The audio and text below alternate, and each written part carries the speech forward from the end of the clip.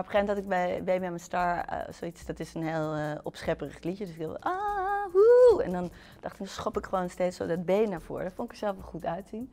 Alleen in een stadion, ergens ik geloof in Kansas City of zo, scho- schoot ik toen per ongeluk mijn pump het publiek in. Ondertussen zag ik dat een fan heel gelukkig met die schoen in zijn hand.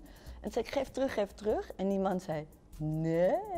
Maar de lijfwacht van Prince had het gezien en hij heette Trevor. En dat was een ontzettend gemene lijfwacht. Die sloeg iedereen neer overal. Hij zat voortdurend in de gevangenis omdat hij dan weer paparazzi neer had geslagen en fototoestellen kapot gemaakt. Dus die ging erop af en nou, het was als in een soort tekenfilm, alsof je sterretjes zag. Dus je zag een arm, een been en die schoen. En op een gegeven moment stond ik heel erg aan het podium en zag ik die schoen helemaal, had Trevor gewoon daar even neergezet. Dus zag ik opeens, oh god, mijn schoen.